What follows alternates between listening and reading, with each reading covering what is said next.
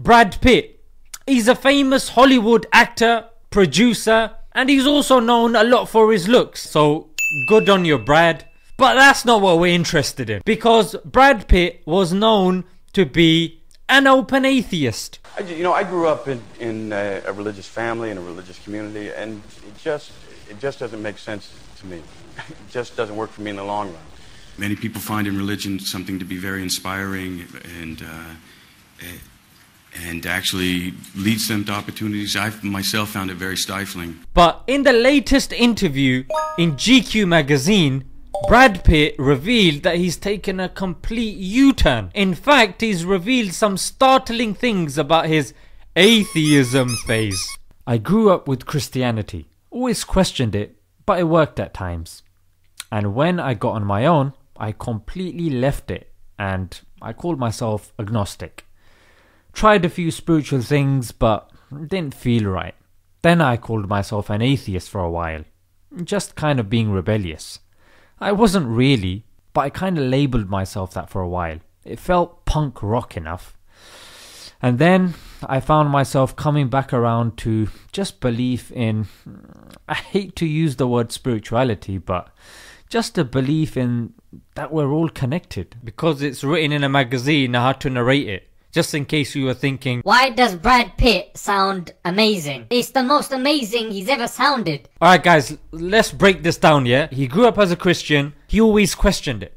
Now, this is very interesting because this is something a lot of people go through when they're young. When you're young, naturally you're attracted by the fun activities or the things that you've been told not to do or you know, the forbidden things. So naturally, if there's a system that's telling you, stay away from that, don't do this, don't do that, rather you should be praying and you should be holy and you should be pious, and you're going to be like, you know what? Let me poke holes in this. And then he moves on to saying, I tried a few spiritual things, but didn't feel right. A lot of people attribute religion to feeling. But feelings are subjective. It depends on your perspective. It depends on your outlook in life. It depends on your desires and your biases. So, what feels right to you may not necessarily be objectively the right thing to do. And then he goes on to say he called himself atheist for a while, just kind of being rebellious, yeah, and he wasn't really. Now, that's quite interesting because when you look at these people and the way they talk on the outward, you'd think, yeah, this guy is clearly an atheist, but you don't know what is going on in their hearts. And then he goes on to say it was punk rock enough. In other words, it was popular, so he just did it. So the current fashion, of course, is atheism, liberalism, materialism. This is the going fashion. It's easy for you to, you know, fall into this. In fact, it's harder nowadays to believe in a God, let alone believing in Allah, believing in a God. Then he found himself coming back around. Now, this is the key bit. Why? Because the temporary nature of this world leads to problems. What do I mean by that? Brad Pitt himself, yeah, he was dealing with loneliness, addiction, and he was dealing with divorce. I mean, we all carry, I think, um, great pains, great regrets. Um, um, we've all experienced loss. Um, we've all um, experienced great loneliness at times. So, loneliness how is that linked to the temporary nature of the world? You become lonely if you're losing relevance, if you're losing popularity, or if you're just losing control of your emotions. Then he said he fell into addiction. That's losing control of yourself. I can't remember a day since I got out of college when I wasn't boozing or something. And truthfully, I could drink a Russian under the table with his own vodka. I was a professional. I was good. And then he said the divorce element and that is the temporary nature of relationships yeah?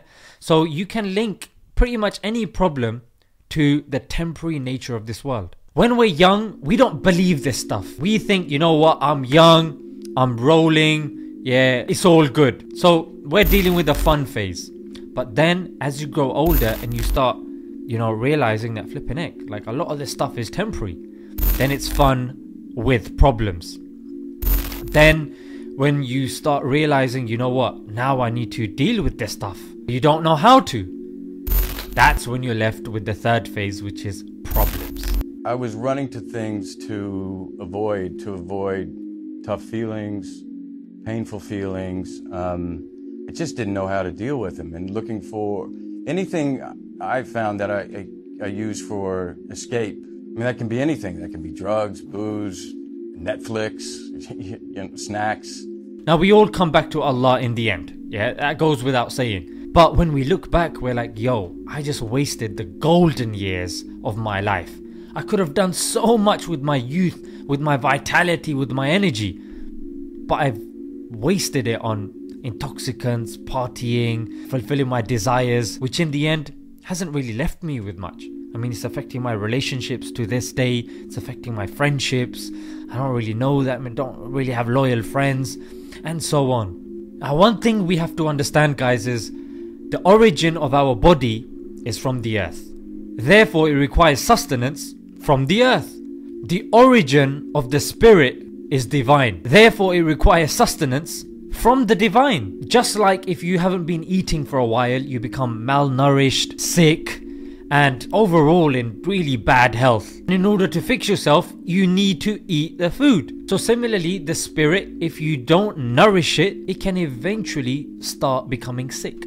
That's because our spirit, guys, is linked to Allah. And the only way we can truly benefit from our existence is by remembering, worshipping, and doing what He said. Otherwise, it's just not gonna work. And those people that are slaves to science, this guy, despite hanging around all of these guys, he realized that, you know what?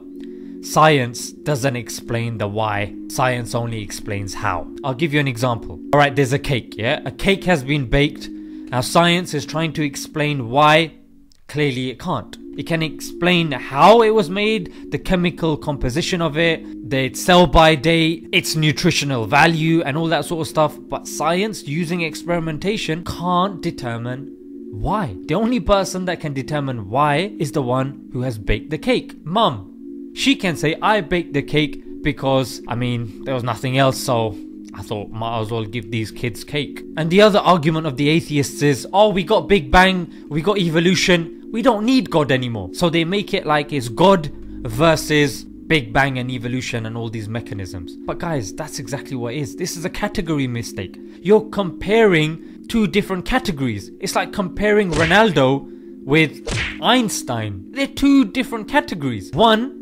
is a mechanism, yeah? So evolution falls under mechanism. Big Bang falls under mechanism. But Allah, God, falls under the creator of mechanisms. So just because we know how the creation works, that doesn't necessarily mean that the creator of the creation ceases to exist. For example, if you know how a car works, well done, kudos to you but that doesn't excuse the one that's created the car. Or if you're able to explain the motion of a football through Newton's law, that's brilliant, but that doesn't excuse the footballer that's kicked the ball. Mate, you don't exist. Sorry. Hey, take it up with Newton. And even when you look further into creation, you realize that it's just too far fetched to assume everything came by chance and there's life on Earth and it just happened to come over a period of billions of years. I'll give you an example, yeah? Life depends on the element carbon, and carbon is made from three helium atoms. Now, in order for the three helium atoms to come together, the nuclear ground state energy has to be very precise. In fact, it has to be precise to 1%. Even if it's up or down by 1%, life don't exist, mate. I mean, even if we look at our planet, if it's too close to the sun or too far away from the sun by even 2%, no life again. And we can go even deeper. If you look at the ratio of the nuclear strong force and the electromagnetic force, if this differed by 1 over 10 to the power of 16, that's 10 followed by 16 zeros, there'd be no stars. And naturally, if there's no stars, that means there's no sun there's no sun, there's no life. I did an entire video on this. I'll put the link in my description where I'm going through loads of fine tuning examples that just point to the creator, frankly. Guys, I'm just going to leave it there. There's a lot that we've learned from what Brad Pitt said. And to be honest, I could go on all day, but hopefully a few things that I've said has resonated with you. Let's leave it there, guys. Until next time, Assalamu alaikum.